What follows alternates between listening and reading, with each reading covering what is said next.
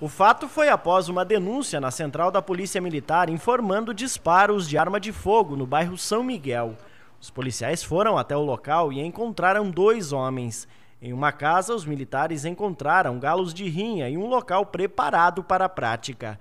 Durante buscas foram encontrados uma pistola marca Taurus calibre 380 municiada, um revólver marca Rossi calibre 38, um revólver marca Taurus calibre 38 e caixas com munições de vários calibres, que totalizaram 857 munições.